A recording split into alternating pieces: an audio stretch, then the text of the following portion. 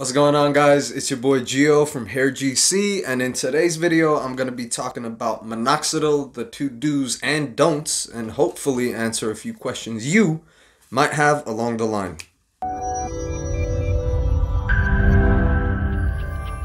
Something weird you should know is that scientists discovered an interesting fact concerning beard treatment with minoxidil. As the multiple experiments proved, as well as a whole community of guys out there who straight up started using minoxidil for their beard, is that the increased hair growth on the face that appeared due to the use of minoxidil remained even after the user stopped using the medication. Now, this is strange due to the fact that that's not exactly how it works when it comes to hair loss on the scalp. But anyways, the point is it's possible to thicken your beard in one year, give or take, and then just stop the use of minoxidil forever and still hold on to those beard gains.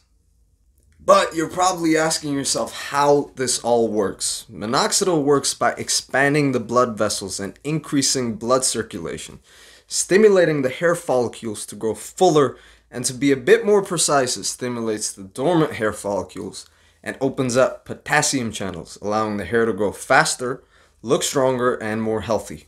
Minoxidil has vasodilation properties. It helps to relax the muscle layer in the vascular walls, increasing the lumen in the vessels and increasing blood supply.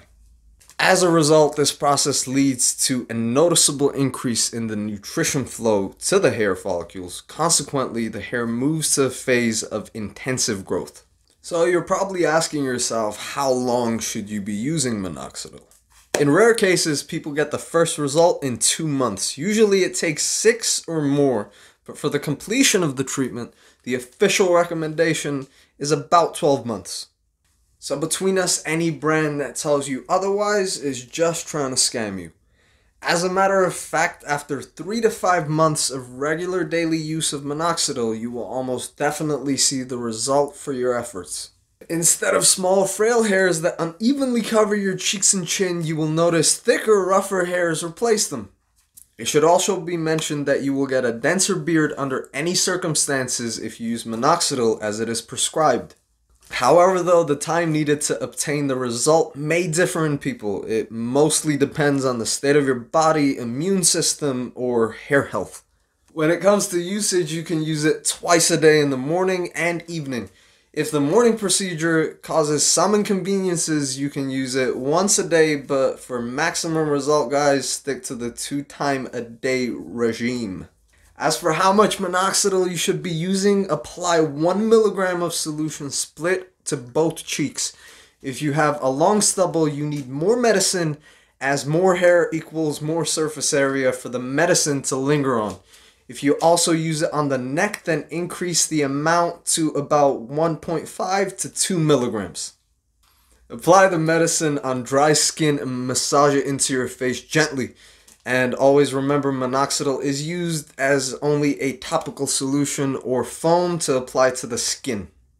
Try to follow the prescribed dosages on the box, although it really does depend on the amount and length of facial hair you're rocking at the time, so you can adjust the dosage accordingly. But just don't start going full beast mode pouring half the bottle on your face like a mad lad. I know for me, the first question I had before I even thought about starting to use minoxidil was Will I lose my beard gains if I stop? Tough question. However, like I said before, some people use it only for two to six months and still hold on to their beard gains. Sadly for me, I wasn't one of those people, so I recommend you don't go placing any bets and try to stick to the full 12 months, guys. I know for me, I wasn't willing to play no games after the first try, so just stick to whatever the bottle says, boys, regardless of the brand of minoxidil that you choose to purchase in future.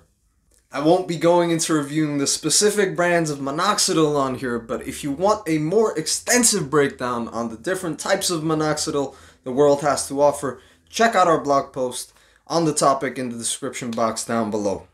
And that is it for today's video, guys. Don't forget to drop a like and subscribe. I'd greatly appreciate it. It really helps us out. Let us know if you found the video helpful in the comments down below. My name is Gio from Hair GC, and I'll see you next time.